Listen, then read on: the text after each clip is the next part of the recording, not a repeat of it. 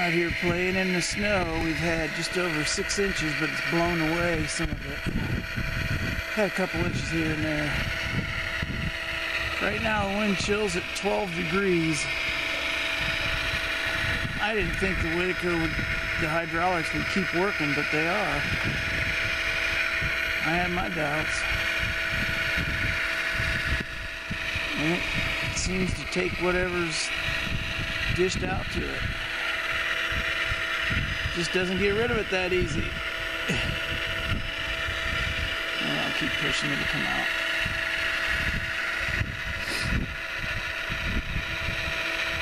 I wish the camera could show how freaking cold it is out here because the wind's blowing about 15 to 20 miles an hour. And I'm froze. I'm also hitting the side of the bridge.